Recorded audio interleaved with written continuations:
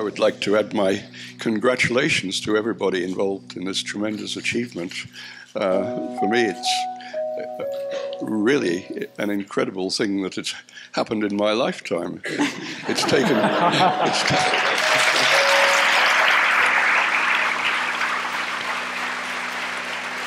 We have a discovery.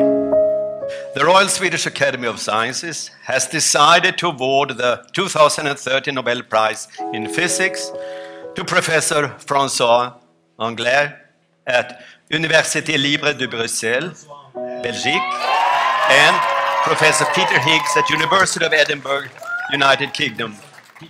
And the Academy citation runs for the theoretical discovery of a mechanism that contributes to our understanding of the origin of mass of subatomic particles, and which recently was confirmed through the discovery of the predicted fundamental particle by the Atlas and CMS experiments at CERN's Large Hadron Collider.